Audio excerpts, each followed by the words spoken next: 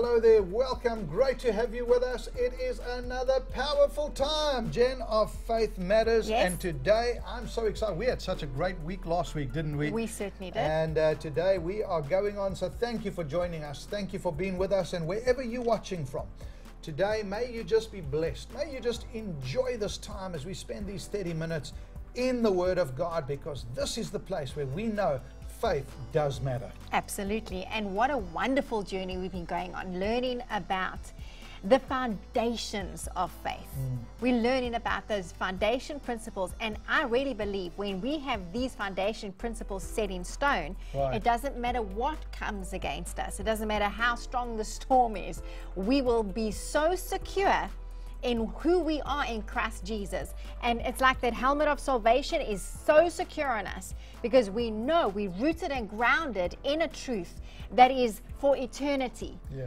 Everything on this on this earth, everything will come and go, circumstances will constantly change. But the word never changes. And when we're rooted and grounded in its truth, it'll last for eternity and is stable and sound and we can only be victorious when we're rooted in it. That's right. So get your Bibles, get your pens, get your notebooks ready because we're going to go on in the Word of God and teach today, as we have over these past few weeks, on these basic subject matters that are changing our lives. Come with us and get ready.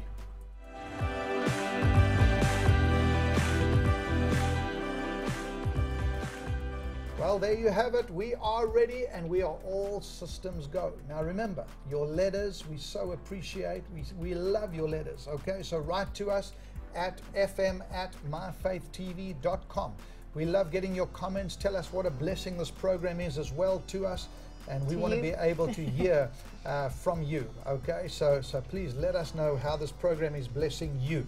Jen, let's pick up where we left off last week. And We've been speaking about this tug of war. We've been speaking about this fight between the spirit and the flesh. And Romans 8, verse 5 and 6 from the Amplified Classic Bible puts it so beautifully. It says, For those who are according to the flesh and are controlled by its unholy desires, set their minds on and pursue those things which gratify the flesh. But those who are according to the Spirit and are controlled by the desires of the Spirit set their minds on and seek those things which gratify the Holy Spirit. Goes on to say this Now the mind of the flesh, which is sense and reason without the Holy Spirit, is death. Death that comprises of all of the miseries arising from sin, both here and thereafter. But the mind of the Holy Spirit is life and soul peace, both now and forevermore. What a love it. powerful scripture. I love that. I love it so much, especially to understand this one part that we read. It says that, but those who are according to the Spirit and are Mm-hmm. controlled by the desires of the Spirit set their minds on That's right. and seek after the things right. that gratify the Holy Spirit. Our minds, wow, Andre, whatever you set your mind on is what controls you. Mm. We, I don't think we will ever, I, I hope that we get to the place where we begin to understand how important our minds are. You know, the Bible, we, we get taught that it is uh, the control center. It says, Right. whoever you give your mind to controls you. Mm. This mind is the control center of your body. And so your mind has got to be setting itself on things that are of the spirit right. and not of the flesh. It's so, so important because it says, even if you are in the flesh and your mind set on the things of the flesh, well, that's the way you're going to be going. So our mind is really the key that we need to take a look here. Well, let's talk a little bit about the renewing of our mind because that I think is, we've spoken about this, we've taught a series before, but as we're talking in this series again, uh, we've realized that the renewing of the mind is the key to the success of every one of Absolutely. us. Absolutely. And that's, you know, we spoke about how um, you have a spirit man, and that spirit has got to dominate the flesh. That's right. Now, how is it going to do that? Because the flesh is, is going to listen to the mind. Mm. Your body is going to obey what your mind says it must do. That's how it works. That's right. So, how is it ever going to do what your spirit says? When your mind chooses to set that, when you, rather, you in control of your mind, right? When you choose to set your thoughts on the things of God and His, which is His word. So when when you make a choice, the more I set my thoughts on God's word and invest in understanding and meditating God's word, I am going to set a pattern for my mind. I'm going to set a, a principle, like a standard for my mind. That's right. In fact, I suppose you could call it brainwashing. I'm going to wash my mind with the word of God, wash away all those mindsets that shouldn't be there, get them right out, and replace them with a godly mindset. This is how I am supposed to live. This is how I'm supposed to think. And we start thinking according to God's way. That's how our minds come in line with our spirits. So right. our spirits and our mind are in agreement. And we know what the Word of God says. Where two or more come into agreement, whatever they believe is established. That's right. So if your spirit man and your mind, your soul, are in agreement together, which would be whatever the Word of God says, hmm. never contradicting what the Word says, then anything is going to be established. Whatever the Word says will be established in your life. That's right. Because they've come into agreement. That's right. You know, Jen, the the scripture, and I, I I want us to maybe look at some other scriptures here because uh, it, it says in, in Romans 8 9, it says, But you are not living the life of the flesh, you are living the life of the Spirit. Yes. If the Holy Spirit of God really dwells within you, directs and controls you, but if anyone does not possess the Holy Spirit of Christ, he, he is none of his. In other words, he does not belong to Christ and he's not truly called a child of God. So the thing is, when your mind is set, when you know in your heart that you love God with everything, then you have a desire for your mind to be controlled by the things of God. Absolutely. You don't Yeah. even want to fight it. That's right. You don't want to fight it because you know that you belong to God. And if you belong to God, that means you want to live for Him. That's right. You want to live like Him. You want to have the same mindset as Him because anything to do with God is good. Mm. It's wonderful. There's freedom. Freedom from the bondages of fear and worry and, and having your circumstances dictate to you. You don't have to have that anymore when you think like God and when you uh, come in line with Him. It's, it's completely different. You are now free from, from sin, it has no power over you. You don't have to be miserable. You don't have to have lack. It doesn't matter what comes against you, you will always be victorious. I mean, that's who, who doesn't want that life? Right, that's right. You, you know, I've always joked and I've always said this, but it's not really a joke. It's quite honest and true. You, you, could never pray in the Spirit or pray just a general prayer on the one side of you and try and, you know, allow your body physically to be involved in something on the other side At the same time. at the same time. You, you, you can't do it. Try it. I challenge you, try it. Try and pray in the Spirit and smoke a cigarette. Yeah, All right? Try- absolutely. you, you can't do it. It's It- completely it- it- it- antagonistic to it. competes against each other. You can't have the infilling of the presence of God on the inside of you and allow an addiction to control you At the same time. at the same time. Stop praying in the Spirit. Stop praying. Ma, the cigarette tastes good. Yeah. Or the alcohol tastes good, or whatever uh, deceit or whatever uh, evil thing is, is, is you back Or fear. Or fear. All right, you you can't. That's why the Bible says pray in the Spirit, and we, we'll talk about that in, in programs in the future. That's why it says pray in the Spirit, and and watch what happens. You edify yourself. You build yourself up. Yes. Because what does it do? It builds the inside of you. In fact, your It- most holy faith is what yeah, it says. It makes you bigger on the inside than you ever dreamed you were. Yeah. And that's what I want you to understand. very so good. so as, as as you face this, as you come into this, Romans 12, 1 and 2 says, I appeal to you, therefore, brethren, I beg you, in the view of all the mercies of God, to make a decisive dedication of your bodies, presenting all of your members and faculties Mm-hmm. as a living sacrifice. What is a faculty? It's your mind. Absolutely. It's a part of you that needs to be presented to God as a living sacrifice, holy, devoted, consecrated, and well pleasing to God, which is what? It's your reasonable, rational, intelligent service and spiritual worship. Wow. So God says from His Word, Paul writing in the book of Romans, he, he writes and he says, Guys, hey, come on, get this together. Do this. If you are born If again, you're born again, surely on the inside of you, show it. and get your mind in line and stop this nonsense on the sideline. Absolutely. Just Stop, renew your stop mind. Stop all of these things. Get on this board. sorted out, and everything else gets sorted out along along the way. Now that doesn't mean fear doesn't come and attack you. That doesn't mean anxiety and, and all the pressures of life and the desires of the flesh don't come and, and attack you. Let me tell you, they will always They'll never stop. attack you. They'll never stop attacking Jesus you. even said that. Jen, I mean, we were doing a live program just the other day and we were talking about it. We did a, a great live show and, and we did it and we spoke about building the house of God and the vision of the dome and, and all of that. And we, we were raving about it and we were talking about the vision and building the house and, and all of that and put your effort into the house. And what do we do? We get home and we got a house problem. all right, we get home and there's a natural there's a natural disaster at our own house.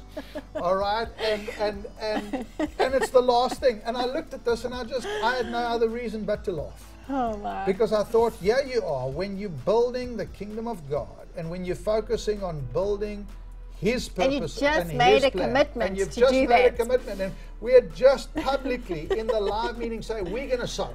Yeah. As a family, we're going to give. We're going to be a part of this vision. We're not going to just allow it, you know, Into the kingdom into vision. the kingdom of God. And and and and what do we do? We, We get look at this home. and we get home, and we've got a natural disaster That at needs home that, needs that money. needs money to fix it. Let me tell you, the natural thing to do in a case like that is saying, "Oh, well, Hold sorry, back, Lord, hold back from I, your- I, I can't. I'm not going to give that money anymore that I was going to give because I need that money to fix My my, natural disaster." Yeah. Okay, that's how it is. In the in the things of God, it says, "Do not be conformed to this world, this age, fashioned after, adapted to ex- external, superficial customs, but be transformed, changed by the entire renewal of your mind, by its ideas or ideals, its new attitude, so that you may prove to yourselves what is this good and acceptable and perfect will of God, even the thing which is good and acceptable and perfect in His sight for you." Exactly. What a great scripture! So what do you do in a case like that? Well, you go back to what the word says. Yeah. That God says, "Seek ye first the kingdom of God and His righteousness, and all these things will be added unto you." There is scripture after scripture after scripture that says, when you give first to God, Mm. what is your reasonable service? And I'm talking in a, in a financial side because that's what where our crisis was, where our mind was fighting what to do. Yeah. So we resort not to what our flesh is telling us in the natural, but we resort to what the word promises us in the spirit. And so we made a decision to laugh at the devil. And no matter what crisis comes, we know we made a commitment, we give to God first, knowing that He loves us and He cares for us and He has promised to take care of every single need because we put Him right. first. That's right. And so, so you can, you get to the place where you actually laugh at the devil. And that argument of, oh no, but you have to, you have to, it actually, it goes.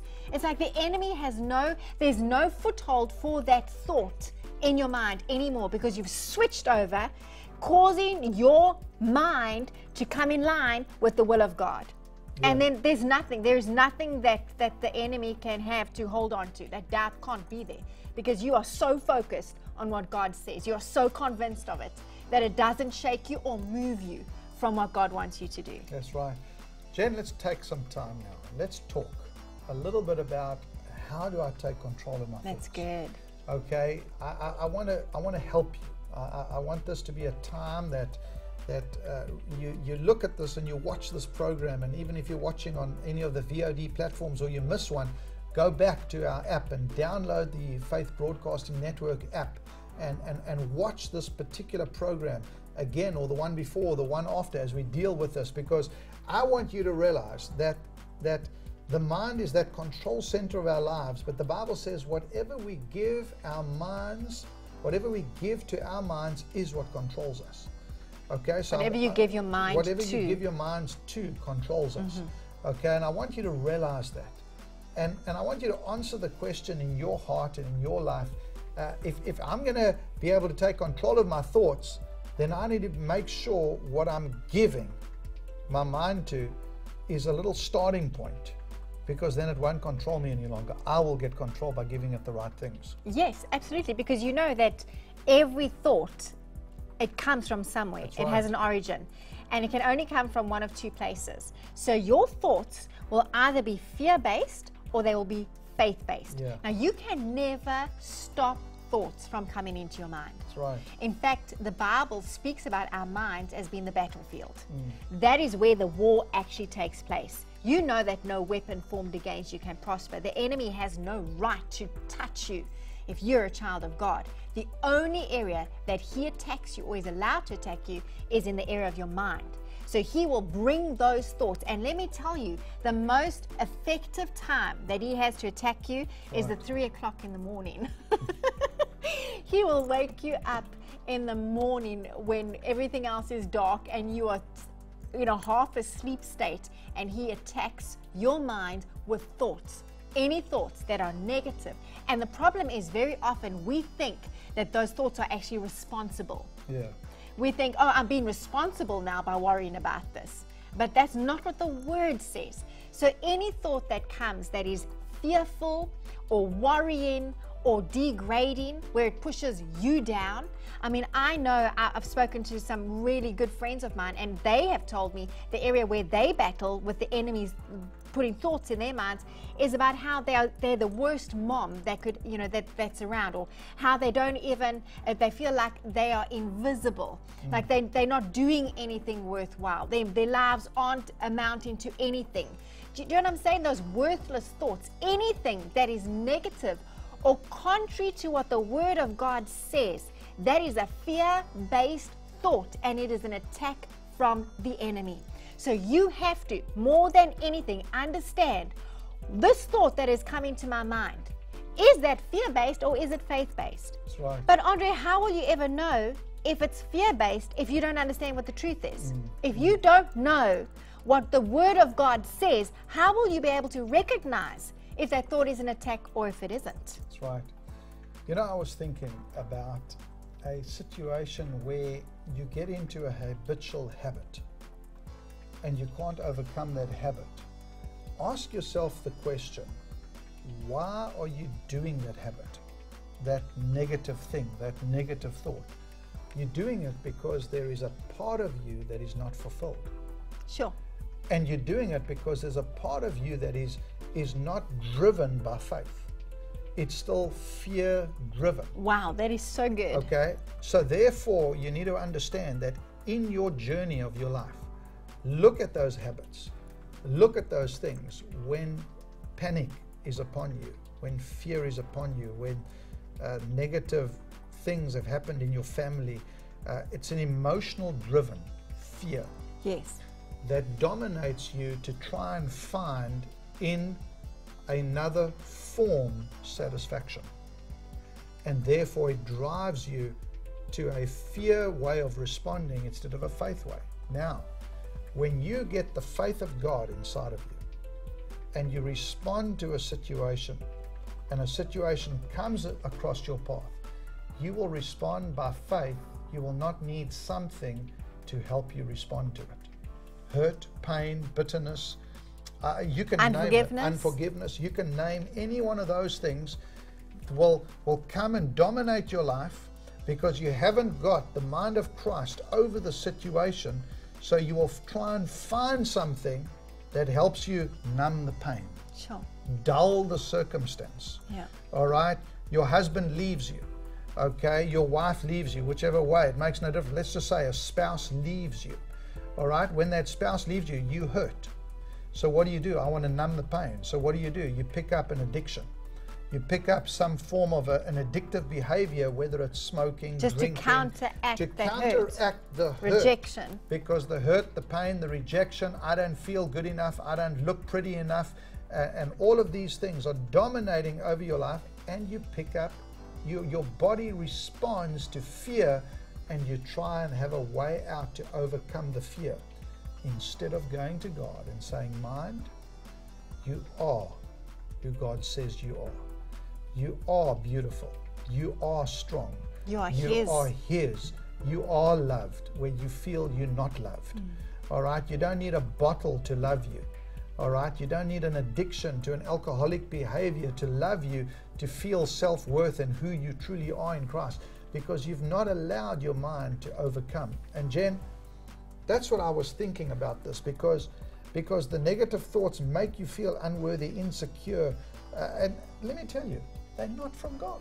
No, They're they not, not from, God. God. They are not from No. God. Because the thoughts of God make you feel worthy. The thoughts from God make you feel bold. The thoughts from God make you feel proud. Hopeful. Hopeful.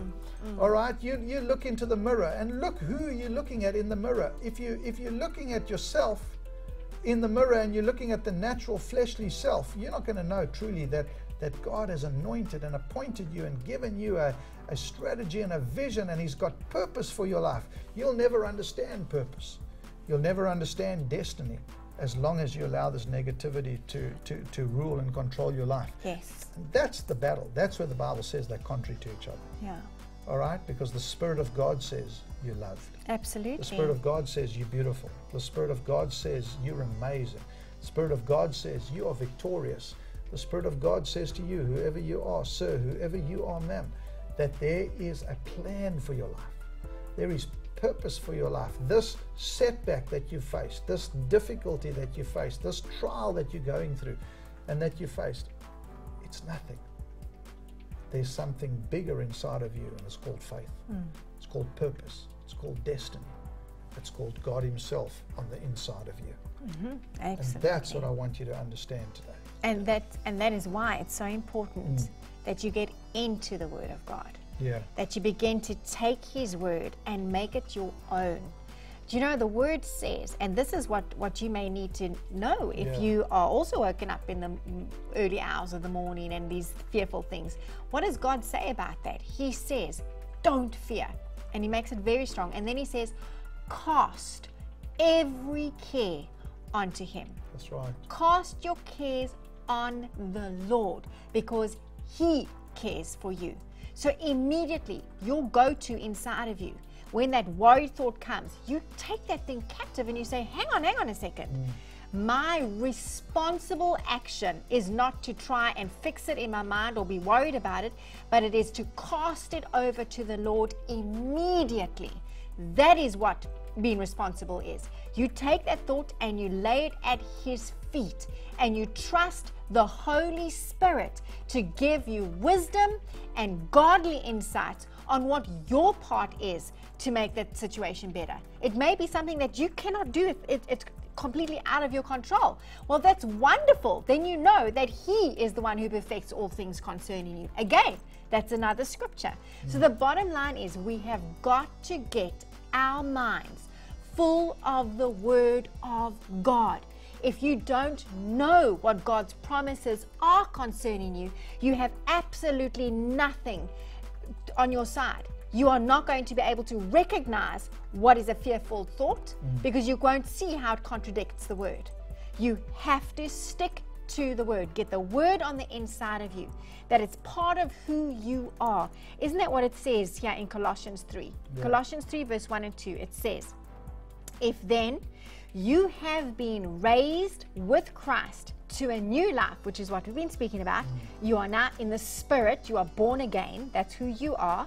It says, sharing his resurrection from the dead, aim at and seek the rich eternal treasures that are above, where Christ is seated at the right hand of God. Listen to this set your minds and keep them set on what is above, the higher things, not on the things that are on the earth. What does that mean? Must I think about being in heaven the whole time? No, the higher things are His thoughts. God's way of doing things, what His Word says, that's the higher thing. Set your mind on what His Word says and keep your mind there. That's what we have to do. That's the only way you're going to be able to recognize whether that thought is fear based or faith based. Because if it contradicts what God's word says and it contradicts his nature, you know it has no right to be in your mind. It came there, but you have control over that thought now. And the word says you can take that thing captive and you kick it right out of your mind. You have no, you don't entertain that thought at all, but rather you do what the word says you do. You take every care, you cast it over to Him, and you listen to the Holy Spirit, who is your helper. Listen to Him, and He will give you the wisdom on what to do.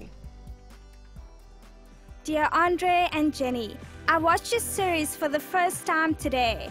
Thank you so much for finding a way to help people internalize and realize the Word of God in their lives. I'm on a journey myself, each day learning to live by God's Word and promise for our lives. I'm reading the Bible from the start. I wanted to share with you that because of the work that God is doing in me, I have gone through one bad situation to another for the last two years with grace, mercy, favor, strength, and love. Even in the midst of the troubles, God has continued to bless me. I have realized that we have to choose God's way every day. The more you do it, the easier it gets as your life becomes its own proof of God and the Spirit guides you. Now I'm learning about the inheritance we have in Christ, the gifts of the Spirit. God has been more than God to me. Stay blessed. Wow, Jen. What a time we've had in the word of the Lord today. I mean, it's just been amazing. We could have gone on and on, but you know what? I believe it has come across to you that which was needed for your day today. Write to us. Let us know what a blessing these programs have been. FM at myfaithtv.com. All right, we want to hear from you. We love getting the letters. All right, so please write to us, send us those letters, send us those questions, and then remember, if you want to get our daily devotion, Yes, very we'd good. love to send you our daily devotion every single day to your inbox. Just write to us, put in the subject line daily devotional, please, and we'll get it off to you. FM at myfaithtv.com. We love you. We appreciate you. Thank you so much for being with us. It's been a great time, and I know I've learned something in the Word. Remember what they say? You can't stop a bird flying over your head, but you can stop it nesting in your hair. So, the same thing with the Word of God. You can't stop a negative thought coming into your mind, but you can stop it taking control And rooting of- itself. and rooting itself Yes. in your life. We love you from Faith Matters. Thanks for being with us. We'll see you next week as we continue along these subjects. God bless you.